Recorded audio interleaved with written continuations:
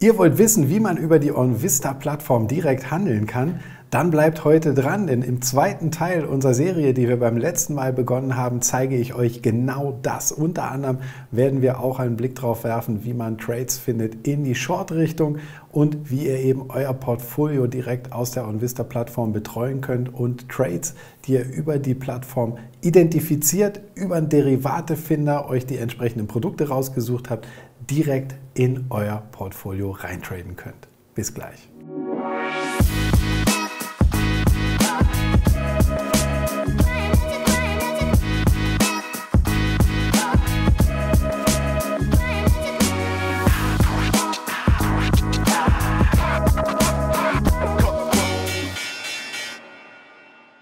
Sind Sie der Trader 2024? Testen Sie zwischen Bulle und Bär Ihre Strategie. Zeigen Sie Ihr Können und sichern Sie sich die Chance auf einen Range Rover Evoque. Melden Sie sich jetzt kostenlos an. Mahlzeit allerseits. Wieder aus dem Studio, wieder aufgezeichnet und wieder ist es genauso wie beim letzten Mal. Ihr könnt euch, wenn ihr das Ganze in der Premiere hier anschaut, direkt über den Chat heute unterhalten, so wie immer. Einzige Ausnahme, ich kann keine Fragen live beantworten. Denn ich bin noch in meinem, wie ich finde, verdienten Urlaub, freue mich aber schon sehr drauf, bald wieder für euch da zu sein und auch die Mahlzeitsendung wieder live zu gestalten. Wir werden uns heute einen ganz wichtigen Bereich anschauen in den Märkten. Wir werden uns nämlich anschauen, wie man direkt aus der OnVista-Plattform handeln kann Parallel dazu werde ich euch auch noch zeigen, das bin ich euch beim letzten Mal schuldig geblieben, wie ihr entsprechende Short Trades findet, wie wir also Aktien identifizieren, die besonders schwach sind, egal in welcher Marktphase. Entweder in einer übergeordneten Aufwärtsphase, wo man solche Trades sehr gerne als Portfolio Hedges verwendet. Auf der anderen Seite kann es aber auch sein, dass wir uns irgendwann mal wieder in einer Ausgangsbasis befinden, in der die Indizes trendtechnisch abwärts gerichtet sind und dann macht es natürlich für uns als Trader insbesondere Sinn, mit Short-Positionen die fallenden Märkte zu begleiten und am Ende auch an fallenden Märkten Geld zu verdienen. Ich weiß, dass das für den einen oder anderen vielleicht noch ein bisschen ungewöhnlich oder ein wenig gewöhnungsbedürftig ist, denn aus der Natur raus als Aktieninvestor freut man sich natürlich immer, wenn die Kurse steigen, aber manchmal müssen wir der Realität ins Auge sehen und in dem Moment, wo die Indizes abwärts driften und sich die Trends in die Abwärtsrichtung entwickeln, kann es sehr hilfreich sein, auch zu wissen, wie man mit fallenden Märkten Geld verdient. Und damit werden wir uns heute beschäftigen. Dafür gehen wir wieder direkt in die Plattform von OnVista. Wir starten wieder auf der Übersichtsseite, genau wie wir das beim letzten Mal gemacht haben. Und ähm, wir beginnen auch hier wieder mit einem Aktienfinder und ich werde euch dann direkt beim ersten Trade, den wir hier raussuchen, auch zeigen, wie ihr das Ganze dann sofort in eurem Portfolio umsetzen könnt. Also die ganze Kausalkette noch einmal durchgekaut. Wir beginnen mit dem Aktienfinder. Wir gehen in den Aktienfinder rein, ähm, reduzieren die ausgewählten Werte oder die Werte, die für uns in Frage kommen hier auf die großen Indizes, nämlich auf den DAX und den S&P 500, übernehmen das Ganze und sehen, dass uns dann hier von äh, 34.000 Aktien noch etwas über 500 übrig bleiben. Dann ähm, müssen wir noch mal kurz schauen. Ja, da bin ich nämlich im Falschen, sonst hätten die Werte hier nicht gestimmt. Jetzt haben wir es, 543 Aktien haben wir am Ende übrig. Und wir machen wieder genau das Gleiche. Wir gehen in die Ansicht, bearbeiten die Ansicht, wollen uns hier noch die Performance des letzten halben Jahres und der letzten vier Wochen ansehen und gehen hier wieder rein und suchen unseren klassischen Indikator, der uns nämlich Aufschluss gibt über die relative Stärke und die relative Schwäche einzelner Werte. Jetzt gehen wir in dieser Liste hier ganz nach rechts und sortieren das Ganze wieder. Wir haben beim letzten Mal begonnen mit der langfristigen Ansicht 250 Tage und haben hier sortiert von Stärke in Richtung Schwäche. Jetzt machen wir genau das Umgekehrte. Wir schauen uns an, was sind denn die schwächsten Werte im Markt über die letzten 250 Tage. Und ähm, das nochmal zur Erinnerung. Wir wollen gerne für Trades, die wir aufbauen, sehen, dass wir langfristig in einem Trend sind, dass wir also eine, eine hohe Schwäche haben in, in der langfristigen Ansicht, aber auch in der kurzfristigen. Das heißt, die Aktien von Lululemon und Albemarle, die hier in dem 30-Tage-RSL über 1 stehen, die fallen für unsere Short Trades schon mal aus, denn die haben in der kurzfristigen Ansicht hier eine relative Stärke, die über 1 liegt. Das heißt, kurzfristig sind diese Werte etwas stärker als der Gesamtmarkt und deswegen fallen die für uns als Short Setups aus. Aber sowas hier wie äh, eine Walgreens oder eine Intel oder eine Dexcom, die sind durchaus interessant. Und da schauen wir uns heute einfach mal die Intel-Aktie an, denn die ist hier wirklich schwach. Die ist langfristig eine der schwächsten Werte und auch kurzfristig sehr, sehr schwach mit einem 0,79er RSL auf 30 Tage. Und deswegen werfen wir hier mal einen Blick auf die Intel-Aktie. So, schauen uns die Aktie an im übergeordneten Chart. Das kennt ihr hier vielleicht auch noch vom letzten Mal. Da haben wir hier unsere vorgefertigten Indikatoren. Und es wird euch vielleicht verwundern, aber ich benutze für meine Short Trades im Prinzip die gleichen Indikatoren wie für meine Long Trades. Wenn ihr euch die letzte Folge angeschaut habt, wenn nicht, dann tut das gerne noch. Die ist natürlich bei YouTube online.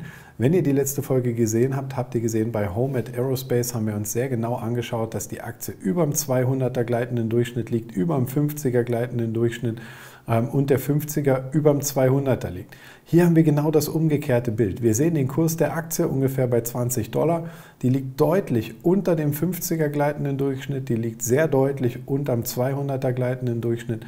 Der 50er hat den 200er hier negativ gekreuzt. Das ist ein sogenanntes Death Cross. Und ähm, das spricht dafür, dass wir auf Sicht der nächsten Wochen bis Monate hier weiter abwärts gerichtet sind. Und das sieht man auch, das hat in der Intel-Aktie hier sehr, sehr, sehr gut funktioniert. Und wenn ihr meinen Handelsstil schon ein wenig kennt, dann wisst ihr, worauf ich achte. Ich achte auf diese Trends, dass wir hier in übergeordneten Trends laufen und dann will ich sehen, dass die Aktien sich deutlich erholen, der Slow Stochastic Indikator hier über die 50 ansteigt und dann negativ kreuzt und von dem Moment an, wo wir diese negativen Kreuzungen sehen, haben wir immer die Möglichkeit, Trades in die Short-Richtung aufzubauen. Das war hier letzte Mal Mitte Juli der Fall. Danach ist die Aktie sehr dynamisch gefallen. Und jetzt haben wir hier bei der Intel-Aktie eine ganz ähnliche Situation wieder. Wir sehen in dieser Konsolidierung, in der Korrektur, die hier gelaufen ist, ähm, dass diese Korrektur ausreichend groß war, damit der Slow Stochastic Indikator hier über den 50er Bereich läuft. Jetzt aktuell kreuzt er negativ und das ist unser mögliches Setup in die Short-Richtung. Das Ganze schauen wir uns jetzt hier auch nochmal im interaktiven Chart an. Wie gesagt, als Pro- und Plus-Kunde habt ihr die Möglichkeit, ähm, dann auch in diese Charts rein zu zeichnen und auch hier nochmal sehr viele verschiedene Indikatoren zu verwenden. Das, was wir jetzt hier machen, ist, wir schauen uns im Prinzip an, wie ist die letzte Ausrichtung. Wir haben hier ein sehr starkes Momentum in die Abwärtsrichtung, hatten dann jetzt eine Art bearische Konsolidierung hier gesehen und sind inzwischen aus dieser bearischen Konsolidierung nach unten ausgebrochen. Ähm, typischerweise das, was wir jetzt hier als Kursziel suchen, das machen wir im Prinzip genauso, wie wir das bei unseren Long Trades machen, nur in die umgekehrte Richtung. Wir haben einen übergeordneten Abwärtstrend. Das heißt, wir gehen ans letzte Tief, schauen uns die Korrektur an bis zum jüngsten Hoch und projizieren diese Level nach unten. Und da haben wir immer zwei Bereiche, die für uns wichtig sind. Das ist einmal dieses 161,8er Level, das liegt in der Intel-Aktie ungefähr bei 17 Dollar. Und dann haben wir einmal diese Höhe der Konsolidierung hier oben drauf gelegt oder unten dran gelegt, viel besser.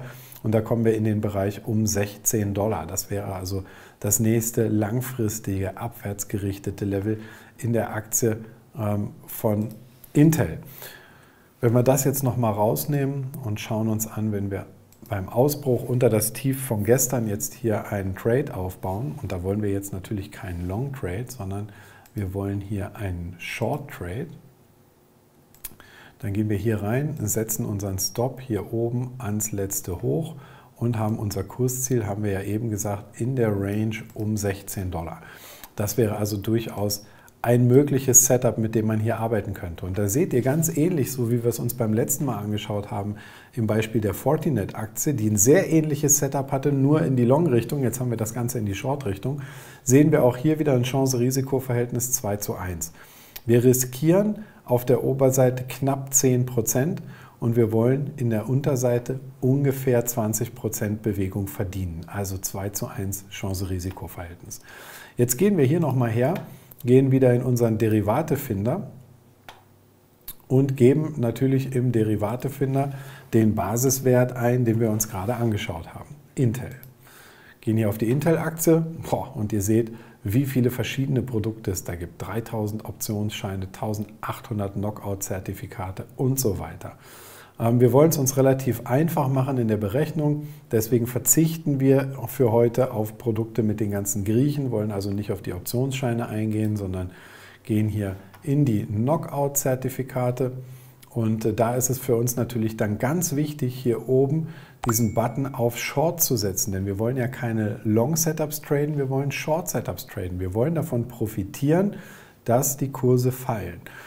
Und für diejenigen von euch, die vielleicht noch keine Short Trades hatten, vor allem nicht in Derivaten, ist es jetzt ein wenig schwierig zu verstehen, aber das, was wir hier jetzt machen, ist, wir kaufen Produkte, die davon profitieren, wenn der Preis des Basiswertes fällt. Wir gehen also gar nicht tatsächlich short im Markt in dem Sinne, dass wir die Aktie shorten, sondern wir kaufen ein Short-Derivat. Ja, und das gewinnt Kurse, also das gewinnt an, an, ähm, an Performance, wenn die Aktie, wenn der Basiswert entsprechend fällt. Deswegen, das muss man einmal verstehen. Von daher ist es wichtig, ähm, hier zu schauen, in, in welche Richtung wir am Ende rechnen müssen. So, wir wollen also Short-Produkte. Und wir haben gerade gesehen, ich gehe nochmal auf die Grafik, wir haben gerade gesehen, wir haben ein Risiko hier zur Oberseite, das liegt bei ungefähr 10% im Basiswert. Bedeutet, wenn wir jetzt wieder unsere klassischen 30% vom Einsatz maximal riskieren wollen, dann gehen wir hierher und sagen, wir möchten gerne Produkte mit einem Hebel von 3, meinetwegen bis 3,3 übernehmen das Ganze hier und sehen, es bleiben 23 Knockout-Produkte stehen. Wir sehen, die sind alle Open-End. Hier seht ihr die Laufzeit. Die könnt ihr also beliebig lange halten, es sei denn, sie werden ausgenockt. Ähm, und damit haben wir dann die Möglichkeit, uns hier zwischen diesen verschiedenen Produkten irgendwo zu entscheiden. Ähm, wenn wir mal schauen, einfach ganz grob, wo wir den kleinsten Spread haben, den haben wir im Moment hier bei diesem Produkt. Das heißt, wir schauen uns das mal ein bisschen genauer an und gehen auch in diesem Produkt hier einmal auf den Chart. Und jetzt kommt nämlich dieser Casus Knacktus, den ihr einmal verstehen müsst.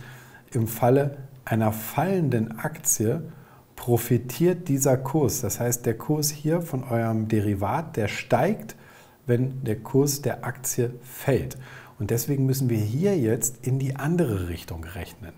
Wir haben uns gerade angeschaut, na, wie sieht das aus mit einem Short Trade? Hier oben liegt unser Stop am Hoch vom 19.08. und hier unten liegt unser Ziel.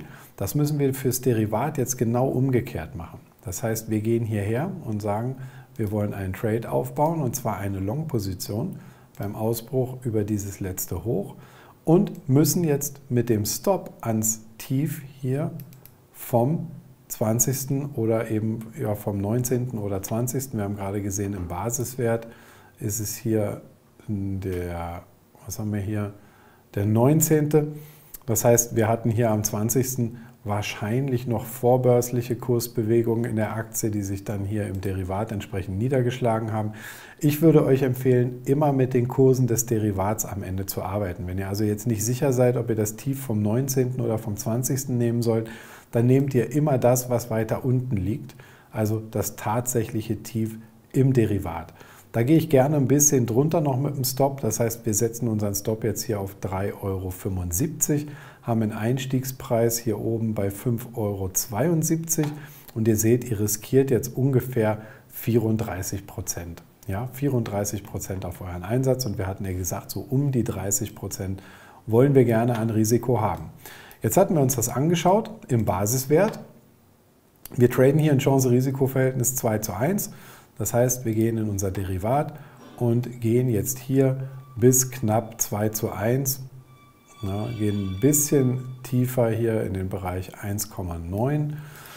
Und dann sehen wir, wir haben das Ziel 9,46 Euro für den Trade oder für, den, für das Derivat und haben den Stop hier unten bei 3,74. Bedeutet Risiko 34% vom Einstieg ähm, mit dem Ziel rund 65% zu verdienen.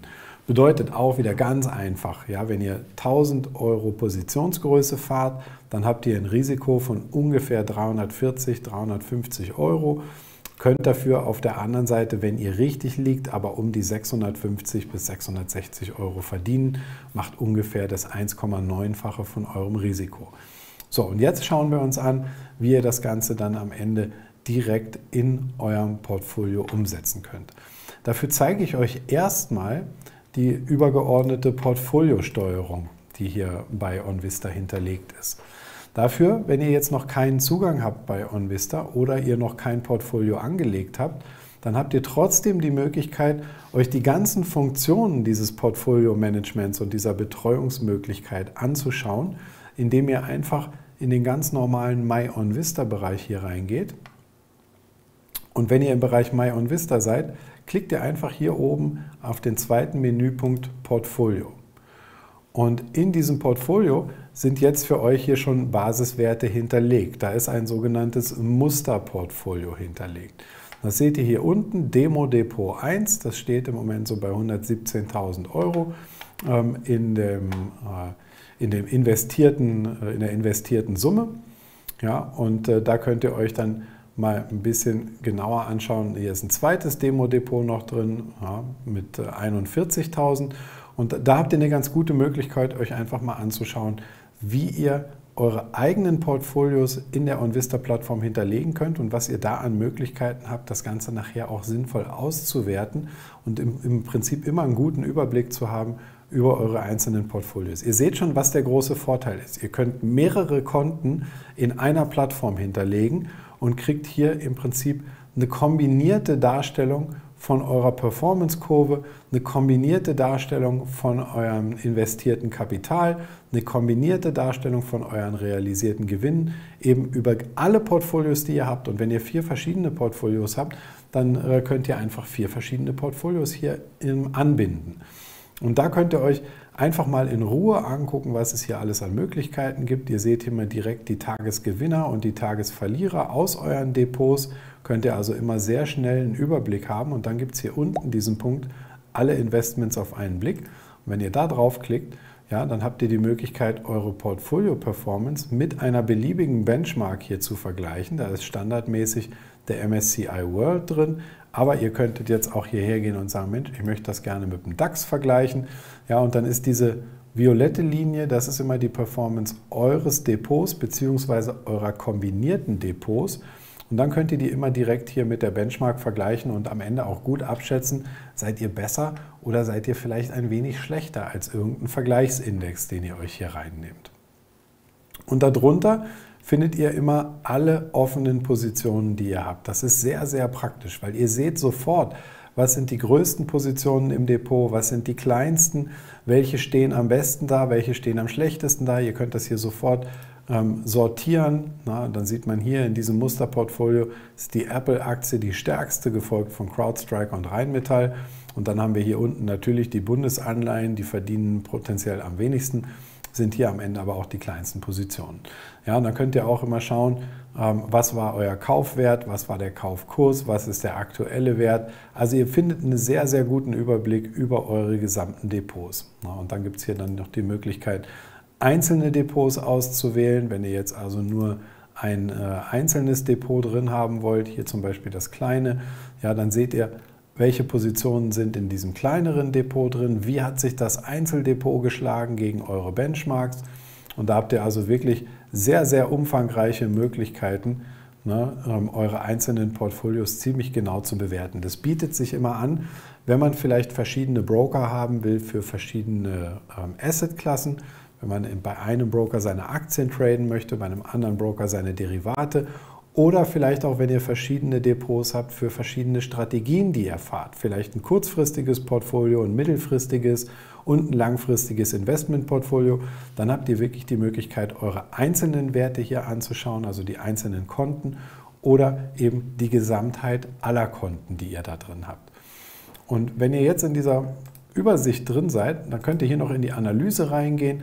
In der Analyse, da seht ihr sehr ausgeklügelt die verschiedenen ähm, Aufteilungen nach Typen, die ihr hier drin habt, ETF, Aktien, Anleihen, ähm, in welchen Regionen ihr unterwegs seid, wie die Gewichtungen sind. In diesem Depot hier sind jetzt 67 Prozent Werte aus Amerika, 21 äh, Prozent Werte aus Europa, 7 Prozent ungefähr global. Dann ist hier nochmal Asien und Ozeanien separat aufgeführt. Die Branchen sehen wir hier, das ist sehr IT-lastig, das Portfolio. Wir sehen hier die einzelnen Renditen. also ihr habt sehr, sehr ausgefeilte Möglichkeiten, eure einzelnen Werte hier auch gut zu kontrollieren und seht dann auch sofort, ja, was hier wo drin liegt und ähm, ja, habt eine gute Möglichkeit, auch am Ende ein sehr ausgewogenes Portfolio umzusetzen. Denn es ist natürlich immer schön zu sagen, oh, ich hätte gerne ein diversifiziertes Portfolio, aber vielleicht fällt euch gar nicht auf, dass eure Anlagevariante gar nicht so diversifiziert ist, wie ihr es gerne hättet. So. Und wenn ihr in dieser Übersichtsseite hier drin seid, dann habt ihr die Möglichkeit, ähm, hier sofort Depots zu verbinden. Ja, ihr seid also in dem Musterportfolio und könnt über diesen Punkt hier mit echten Daten verbinden, euch sofort einloggen ähm, in eure äh, entsprechenden ähm, ja, in, in, euer entsprechendes OnVista, ähm, on, euren OnVista-Zugang, den ihr hier im Vorfeld angelegt habt. Und ich zeige euch jetzt nochmal, wie das aussieht, wenn ihr eingeloggt seid. Da bin ich nämlich in diesem Browser hier eingeloggt.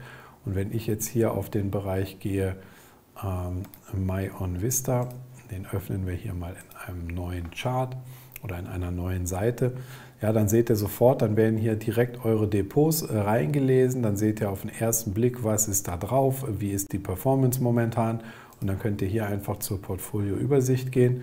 Und wenn ihr noch keine ähm, Depots drin habt, dann habt ihr die Möglichkeit hier unten über diesen Plus-Button ganz einfach Depots dazuzufügen. Und wenn ihr das macht, dann kommt ihr auf diese Übersicht und da seht ihr die verschiedenen Varianten. Es gibt zwei Möglichkeiten, wie man Portfolios hier anbinden kann. Es gibt einige äh, Broker, die könnt ihr direkt mit Handelsfunktionen anbieten, äh, anbinden. Das sind die, die hier oben aufgeführt sind. Und dann gibt es andere, da könnt ihr die äh, Portfolioübersicht nutzen, das, was ich euch gerade gezeigt habe, die ganzen verschiedenen Auswertungsmöglichkeiten zu sehen, was für Werte habt ihr da drin, wie stehen die, wie ist die prozentuale Gewichtung und so weiter.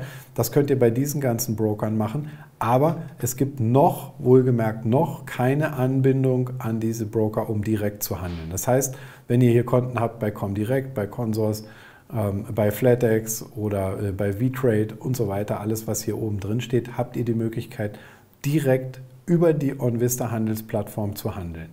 Ja, ähm, bei dem Konto, was hier hinterlegt ist, da ist durchaus die Möglichkeit gegeben. Das heißt, wenn ihr eingeloggt seid und habt jetzt diesen, diesen Trade hier geplant und wollt hier oben bei 5,72 oder 5,73 diese entsprechende Short-Position auf Intel aufbauen, dann könnt ihr einfach hierher gehen und könnt sagen, handeln und klickt auf dieses äh, Handeln-Bild. Dann müsst ihr jetzt im Prinzip hier eure Plattform verbinden. Ähm, da werdet ihr dann äh, für, zur Authentifizierung quasi aufgefordert. Das heißt, wenn ihr jetzt so eine Liste habt mit den verschiedenen ähm, TAN-Nummern drauf, dann werdet ihr da nach den Nummern gefragt und könnt im Prinzip für den gesamten Handelstag euch die Handelsfunktion hier freischalten und habt dann die Möglichkeit, ähm, direkt dieses Produkt zu traden. das werde ich jetzt mal schnell im Hintergrund vorbereiten. So, ich habe jetzt gerade mal schnell im Hintergrund hier die Handelsfunktion freigeschaltet, um euch dann mal direkt zu zeigen, wie das funktioniert. Dafür gebt ihr, wie gesagt, dann ähm, über die TAN-Karten oder was auch immer euer Broker euch anbietet, eure Zugangsdaten ein und habt dann im Prinzip euer Konto für die Handelssession freigeschaltet. Und da könnt ihr jetzt eben hergehen. Wir hatten ja gerade diesen Trade hier geplant mit einem Kauf bei 5,73 und einem Stop hier unten bei 3,75. Und dann habt ihr die Möglichkeit, hier oben direkt, wenn ihr in eurem Konto eingeloggt seid, auf den Handeln-Button zu klicken. Geht hier drauf, sagt hier verbinden und dann seid ihr in eurem Konto drin. Jetzt seht ihr bei mir dieses kleine Konto, was hier angebunden ist, das ist halt voll investiert. Das heißt, ich könnte hier wahrscheinlich nur einen einzigen äh, Schein kaufen, was sich kaum lohnt, aber ich will euch ja nur den Prozess zeigen. Also ihr könnt dann hier auf den Kaufen-Button gehen so, müsst dann den Handelsplatz auswählen. Ähm, ich nehme einfach mal direkt den Emittenten. Stückzahl können wir hier eingeben. Ja, ein Stück, mehr könnten wir nicht äh, handeln. Und dann gehen wir hier auf Kurs abfragen und dann seht ihr den aktuellen Kurs und ihr könntet quasi sofort hier kostenpflichtig kaufen. Allerdings haben wir ja gesagt, wir wollen eine Stop-Buy-Order reinlegen und zwar bei 5,73. Ja, und dann könnten wir jetzt hier auswählen, ob wir das Ganze tagesgültig machen wollen oder bis zu einem bestimmten Datum oder bis Monatsende. Und dann habt ihr ganz einfach, wenn ihr hier auf Order verarbeiten klickt, im Prinzip mit einem einzigen Druck auf diesen Button jetzt handeln, das Derivat, was ihr euch im Vorfeld über den Derivatefinder rausgesucht habt, ganz einfach in euer eigenes Konto zu buchen. Und das ist insbesondere dann spannend, wenn ihr relativ viele Trades macht, ähm, wenn ihr recht aktive Händler seid und wenn ihr euch nicht jedes Mal wieder in eurer Broker-Plattform dann entsprechend einloggen wollt und äh, da die Handelsgenehmigung freischalten, dann könnt ihr das einmal auf der OnVista Website machen, könnt eben über den Aktienfinder schauen, was sind Werte, die sich momentan gerade anbieten für Trades auf der Long-Seite oder Trades auf der Short-Seite, könnt euch die passenden Derivate dazu raussuchen. Und wenn ihr eben in dieser Derivate-Übersicht seid, dann können wir hier direkt nochmal drauf gehen, wenn ihr in dieser Derivate-Übersicht seid, dann könnt ihr direkt, wenn ihr den Trade hier geplant habt, sofort auf äh, den Punkt Handeln gehen und könnt diese Position direkt in euer Portfolio buchen. Ja, und damit habt ihr im Prinzip einmal die gesamte Kausalkette gesehen, habt den gesamten Arbeitsablauf gesehen, wie kommt ihr von der OnVista-Seite auf den Aktienscreener, auf den Derivatefinder in eure Handelsplattform rein.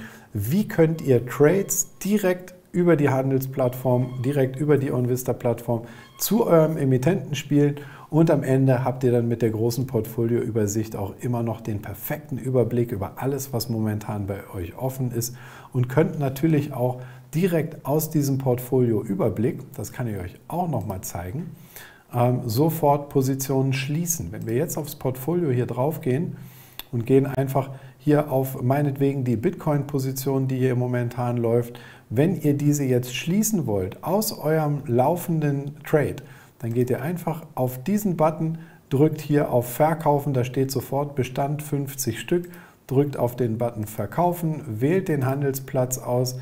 Die Stückzahl, die ihr im Portfolio habt, ist schon voreingestellt und dann könnt ihr im Prinzip jetzt einfach hier einen Kurs abfragen. Wenn ihr den Kurs abgefragt habt, habt ihr ein paar Sekunden Zeit, auf den Knopf zu drücken und dann habt ihr sofort zum aktuellen Kurs eure Position verkauft oder wenn ihr wollt, die halbe Position, wie auch immer. Das ist euch alles frei überlassen und das ist sehr, sehr einfach eben das Ganze direkt aus dem Portfolio, aus der Portfolioübersicht zu schauen, was läuft wie, wo ist man vorne, wo ist man hinten, welche Position möchte man behalten, welche Position möchte man auflösen. Und weil ihr euch eben einmal für die gesamte Handelssession freischaltet, könnt ihr hier sofort beliebig viele Aktien oder auch äh, eben Derivate glattstellen, müsst immer nur den Handelsplatz auswählen, die Stückzahl eingeben, Kurs abfragen und könnt das ganze Ding glattstellen. Viel einfacher und viel besser kann man sein Portfolio nicht mehr managen und deswegen lade ich euch damit ganz herzlich dazu ein, euch mal diese Portfolio-Funktion und die Handelsfunktion bei OnVista ein wenig genauer anzuschauen. Ja, freue mich sehr, wenn ich euch damit heute wieder ein wenig weiterhelfen konnte und euch im Trading- und Investmentprozess ein Stück nach vorne bringen. Freue mich natürlich noch mehr, bald aus dem Urlaub wieder zurück zu sein, für euch wieder live zur Verfügung zu stehen und äh, wünsche euch wie immer erfolgreiche Trades bis zur nächsten Session. Sag, macht's gut und bye bye. Sind Sie der Trader 2024? Testen Sie zwischen Bulle und Bär Ihre Strategie. Zeigen Sie Ihr Können und sichern Sie sich die Chance auf einen Range Rover Evoque. Melden Sie sich jetzt kostenlos an